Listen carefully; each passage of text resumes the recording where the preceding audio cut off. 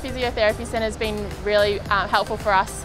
Playing at this level, it's pretty intense, our training, and we play two games a weekend, so recovery and treatment is really important. And Kate and Kathy and Julia go above and beyond to help us out here and they're always fitting us in when they might not have an appointment free but they put us as priority and it's um, helping us pretty much stay on court which is really crucial.